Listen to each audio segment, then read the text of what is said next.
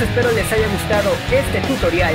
Si fue así, regálame un like, comenta el video, compártelo y si eres nuevo mirando el contenido de este canal, te invito a que te suscribas y a mirar mis otros videos.